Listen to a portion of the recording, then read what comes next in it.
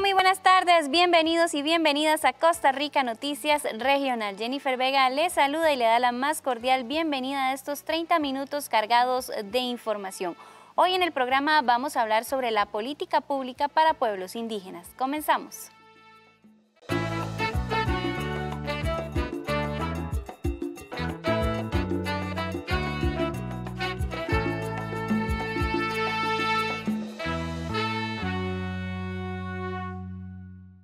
Hoy es William Arce quien nos lleva a apreciar los paisajes de Zarcero. Recuerde que usted puede enviarnos sus fotografías al correo electrónico yvega.cinar.go.cr. Hogares pobres en la región Brunca incrementaron en un 7% en el último año. Esta es una información de Carmen Picado de TV Sur, Pérez Celedón. El porcentaje de hogares pobres en la región Brunca se estima en un 33.5%, con un aumento significativo de 7 puntos con respecto al año anterior, mientras que la pobreza extrema registró 10.2% de los hogares, lo que significa un incremento de 4.3 porcentuales con respecto al 2020. Esta región representa el mayor nivel de pobreza en el 2021 en el país. Así se desprende de la encuesta nacional de hogares 2021, efectuada el pasado mes de julio por el Instituto Nacional de Estadísticas y Censos y presentada durante esta semana. El nivel de pobreza en la zona sur sobrepasa el nacional, que alcanzó un 23%. La región Brunca, que presenta la situación más difícil, tiene un aumento en la pobreza tanto extrema como en la, como en la pobreza total. En el caso de la pobreza total se ubica en 33 0.5%, aumentando 7 puntos porcentuales con respecto al año anterior. Y la pobreza extrema se ubica en 10.2%. Esto es un aumento de 4.3 puntos porcentuales. Dado que la medición de la pobreza por el método de línea de pobreza está asociada precisamente al comportamiento de los ingresos, se presentaron disminuciones en la pobreza general y en la pobreza extrema respecto al 2020, cuando se llega a una incidencia general del 23% y dentro de ella del 6,3% de pobreza extrema. Ninguna presenta mejoras al compararlo con el 2019. Este comportamiento es evidente también por zona de residencia y en el que incluso en la zona rural muestra tendencia al aumento en los tres años, 2019, 2020, 2021, aunque no tiene variaciones significativas.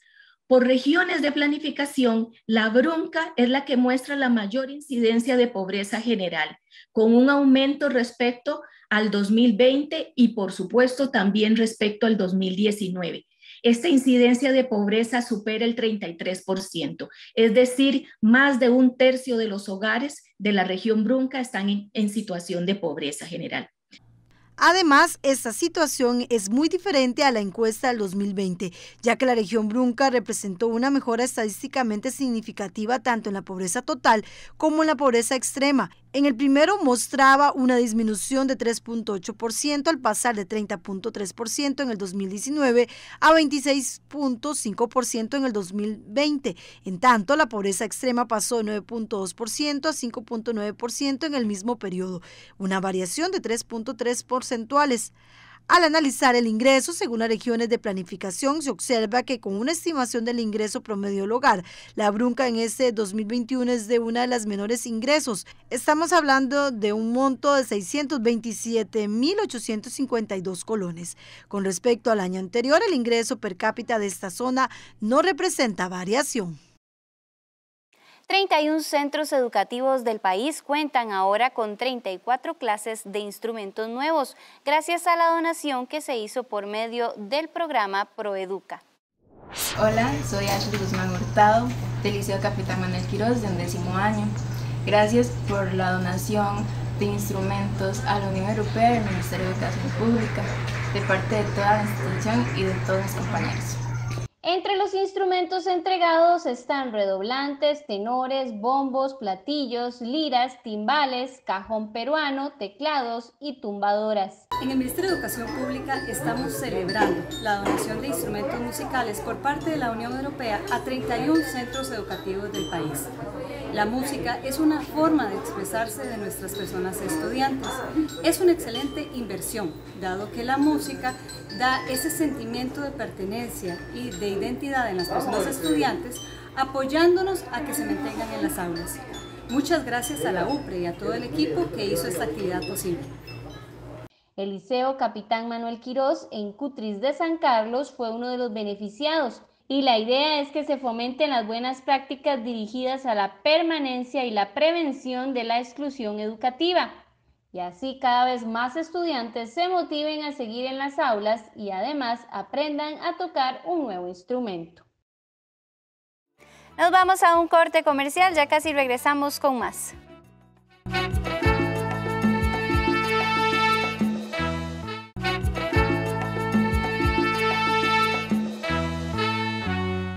Gracias por continuar con nosotros. Los pueblos indígenas participan activamente en la construcción de su política pública. ¿Cómo ha sido esa etapa? A continuación, Randall Otárola, viceministro de la Presidencia en Asuntos Políticos y Diálogo Ciudadano en Casa Presidencial, nos amplía todos los detalles. Muy buenas tardes y bienvenido. Buenas tardes, un gusto y como les expresé, bueno, encantado y de que nos permitan además conversar sobre estos importantes temas dentro de la agenda indígena. La etapa de encuentros preparatorios comenzó el pasado 17 de septiembre y ha alcanzado territorios de la región Huetar Caribe, Brunca, Central y Huetar Norte. ¿Cómo han sido esos encuentros? Este, es importante mencionar que esto se enmarca dentro del proceso de consulta eh, de la política pública para pueblos indígenas. Esto porque así lo dice un mecanismo consensuado con la mayoría de territorios indígenas en el país, que tiene vigencia como tres años, pero el mismo convenio 169 de pueblos este, indígenas y tribales que corresponde el cumplimiento de estándares en esa materia de consulta. Eh, en ese proceso estamos en la fase 3, que es los encuentros preparatorios. Hemos ya visitado, como usted menciona, 19 territorios indígenas de los 24, esperando que en los próximos eh, tres semanas ya podamos culminar los encuentros preparatorios en todos los territorios indígenas del país.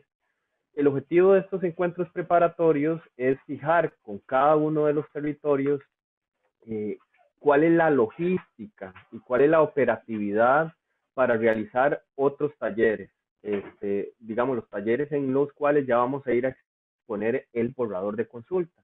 Entonces, estos encuentros iniciales, como lo ordena el mecanismo general de consulta, tenemos que ir a definir con cada uno de los, de los territorios la hora de los encuentros, eh, qué información requieren, si requieren inclusive información traducida, resumida.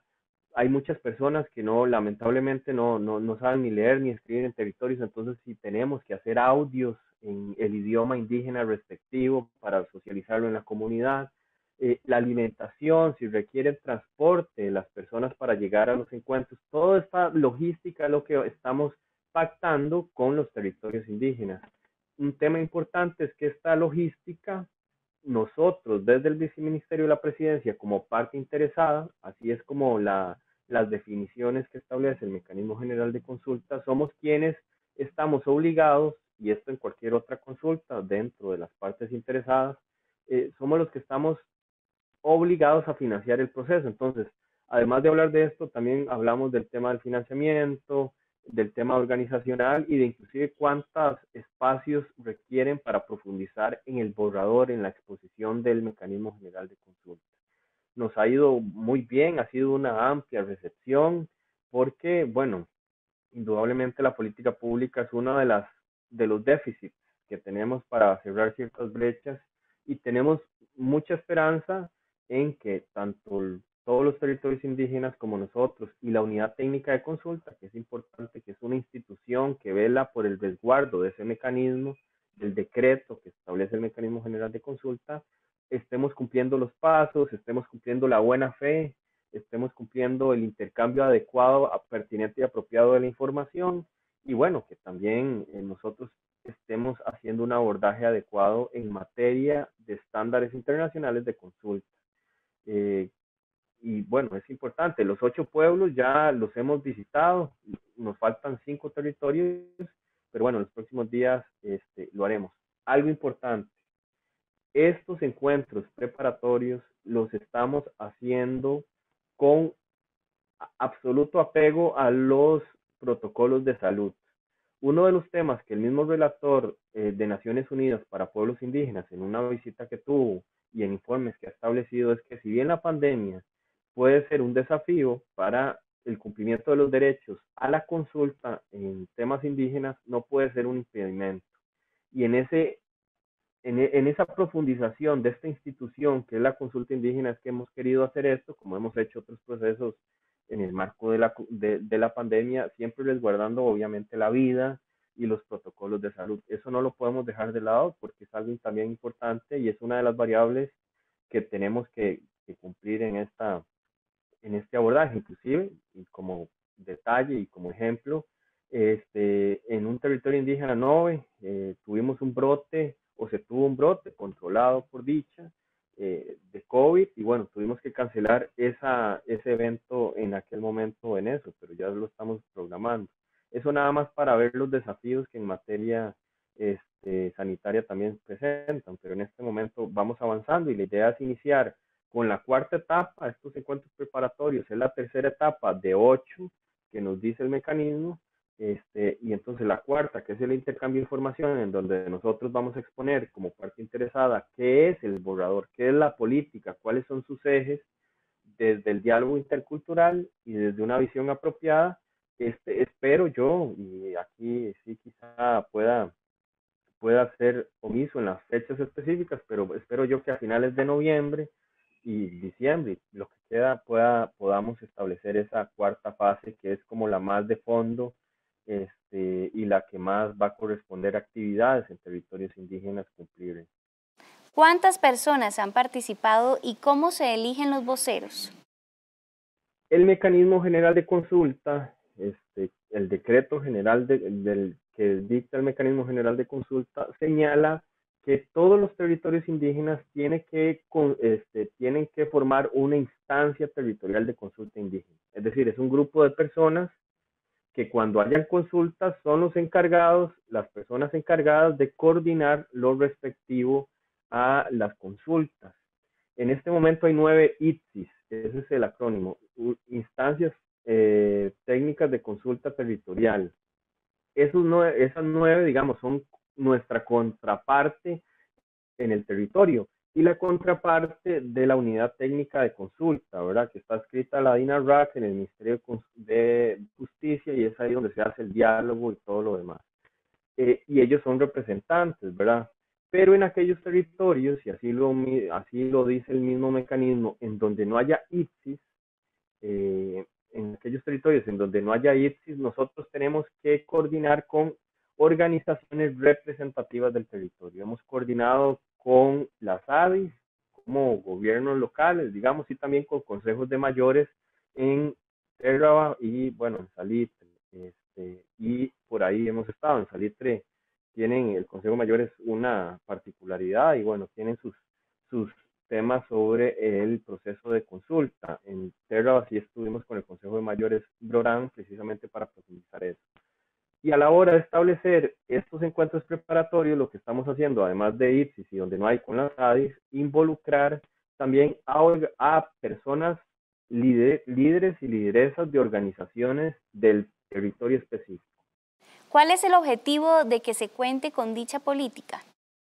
Los territorios indígenas, las comunidades, los liderazgos nos han marcado una ruta y eso yo siempre lo trato de posicionar porque la agenda que estamos teniendo con los territorios indígenas son deudas históricas y son demandas, por ello, que vienen desde hace mucho tiempo.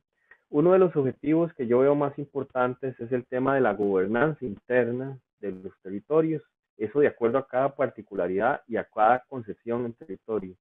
Este, y eso es la, la diversidad y precisamente la multiculturalidad con que los territorios indígenas también también conviven. Ese para mí es uno de los principales objetivos. Otro que yo creo que es importantísimo, además de que en la planificación, ya a la hora del plan de acción, por supuesto, que en la planificación anual de las instituciones, en las cuales a nivel de consulta los territorios indígenas nos, nos digan que necesitan acciones específicas de esas instituciones, que en su planificación anual puedan tener este, recursos, proyectos o programas específicos para, para pueblos indígenas. Y eso es uno de los temas más importantes, es decir, que la institucionalidad pueda abrirle la puerta de una manera apropiada y pertinente a los territorios indígenas. Ese segundo elemento no es menor. Otro que creo que también es importante es que la institucionalidad muchas veces es omisa en el tema indígena, en el sentido de que no tiene una visión apropiada ni una visión pertinente. Entonces, esto lo que queremos es impulsar la eficacia institucional en el abordaje de los temas indígenas, no solo desde el punto de vista, ya que ya les dije en el segundo elemento, sino de la comprensión del marco normativo y la jurisprudencia respectiva que haya en torno al abordaje de los temas indígenas. Porque la visión de que el gobierno tiene que ir a hacer esto y no consulta a los indígenas, digamos, eso ya no va. ¿Cuánto tiempo más podría llevarse este proceso y qué falta por hacer para construir una política pública para los pueblos indígenas? Una vez terminadas las fases, eh, habría que ratificarlo nos imaginamos en una Asamblea Nacional con representantes de todos los territorios este, en algún lugar precisamente ya para definirlo. Ese es el paso final, el 8. Ahorita estamos en el 3. A este gobierno y nosotros así de la manera más transparente lo hemos también posicionado. Bueno, nadie se esperaba la pandemia y cuando no teníamos información de la pandemia indudablemente no pudimos avanzar en este proceso o avanzar de una manera cautelosa este, a la espera de tener mayor información para ver cómo hacerlo. A este gobierno le quedan siete meses. Nosotros lo hemos puesto así en los territorios indígenas y también hemos dicho, además de eso, es que este proceso no vamos a correr con este proceso, no vamos a hacer una discusión acelerada en el sentido de que estamos hablando de derechos y, bueno, nosotros vamos a llegar, yo espero, hasta las últimas etapas este, y cuidado y no en ciertos territorios a culminar, digamos, ya con los acuerdos específicos que determinen. Y mi expectativa es que esto lo podamos corresponder en los meses venideros. De no ser así, el proceso de consulta le permite a los pueblos indígenas indudablemente tener el mando de este, de este, de este proceso y con las autoridades que vengan y el gobierno que venga, pues seguir con este, con este insumo. Agradecemos a Randall Otárola, viceministro de la Presidencia en Asuntos Políticos y Diálogo Ciudadano en Casa Presidencial. Vamos a una pausa, ya volvemos.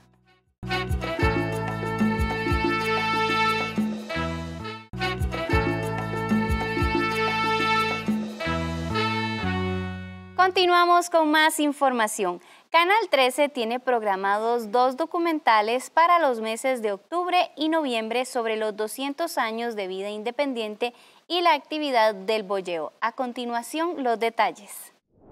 Oro, Café y Bolleros es eh, en realidad una compilación de 200 años de la historia de Costa Rica, donde hemos pretendido mm, o hemos logrado más bien que quede claro cuáles fueron los, los instrumentos financieros que se utilizaron para ese desarrollo del país.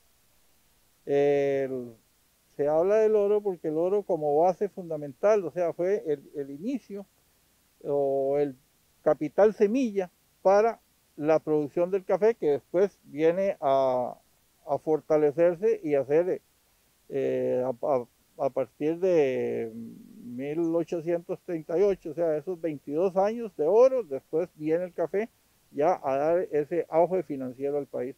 Entonces son los, los dos grandes elementos económicos que ayudan o productivos que ayudan a ese desarrollo.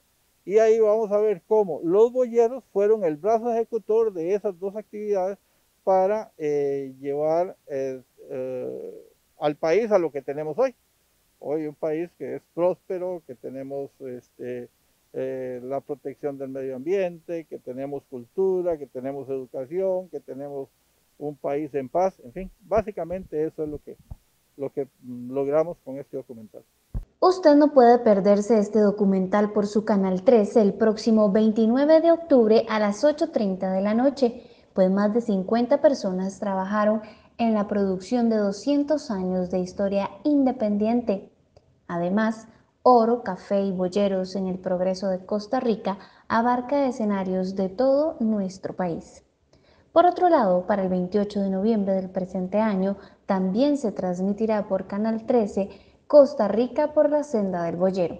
Costa Rica por la senda del boyero es un proyecto que nos permitió eh, presentar al país las, las principales funciones y el, y el gran eh, aporte de los boyeros al, al, desarrollo.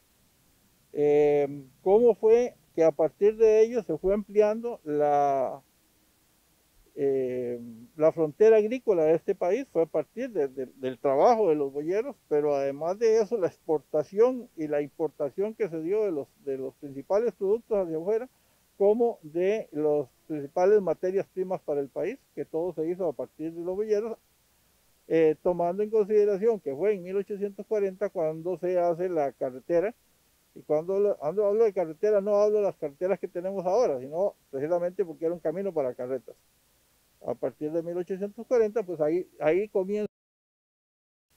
Eh, y por esa razón es que se hizo pensando en que al tener un reconocimiento de la eh, como patrimonio oral e intangible de la humanidad por parte de la UNESCO, pues entonces era eh, muy importante tener también un, documento, que un documental que nos viniera a, mostrar esa, esa gama de, beneficios que ha representado la actividad boyera para el país. Este documental rescata la declaratoria de patrimonio oral e intangible de la humanidad a la actividad del boyeo y la carreta costarricense. De acuerdo con la Ley 6.814 del 24 de septiembre de 1982, el último domingo del mes de octubre se celebra el Día Nacional del Servidor Comunitario, con el propósito de hacer reconocimiento público y oficial a las personas que realizan su labor en las más de 3.500 asociaciones de desarrollo comunal de nuestro país. Este año coincide con el octavo Congreso Nacional de Asociaciones de Desarrollo que organiza DINADECO. Este fin de semana, en el marco del octavo Congreso Nacional de Asociaciones de Desarrollo, DINADECO rendirá homenaje a líderes y lideresas comunales de todo el país en el Día del Servidor Comunitario. Nosotros vamos a diferentes lugares y nosotros vemos la necesidad que tiene esa comunidad, ese pueblo, y nos solicitan ayuda. Y nosotros a través de reuniones y a través de eh, ¿qué le puedo decir? Ponernos de acuerdo todos en ayudar a, esa, a ese pueblo, a esa asociación. Nosotros lo hacemos en bien común para todos porque eh, hay pueblos y hay lugares que realmente lo necesitan y siempre, siempre hemos ayudado. Nosotros este, sacamos nuestro tiempo y trabajamos a honoren porque nosotros somos este, gente de comunidad, somos gente que nos gusta ayudar y, y gente que nos gusta pues llegar con, las manos llenas a una comunidad con aquello que nos solicitaron a nosotros. Para mí ser comunalista es tener un don de servicio hacia mi prójimo y hacia mi comunidad. Este, trabajar en, en pro del bienestar de nuestras comunidades y ver el progreso cada día, estamos engrandeciendo al país estamos engrandeciéndonos nosotros mismos y estamos trabajando por un futuro mejor.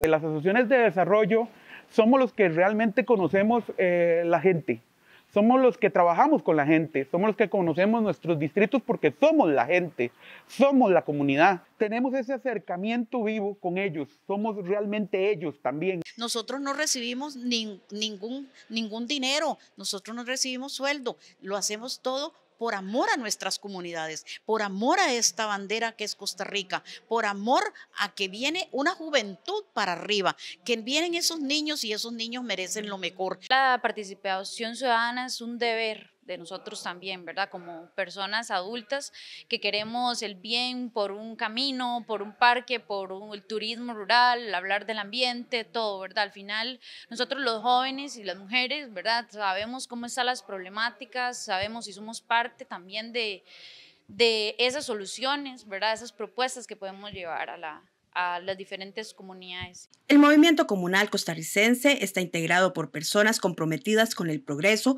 el desarrollo y la transformación de sus comunidades y continúa marcando la diferencia en nuestro país. El octavo Congreso Nacional de Asociaciones de Desarrollo se realiza hoy y mañana en el Hotel Radisson, en San José, y es la culminación del proceso de análisis y construcción del Plan Nacional de Desarrollo de la Comunidad, herramienta que guiará la ruta a seguir por este movimiento durante los próximos cuatro años.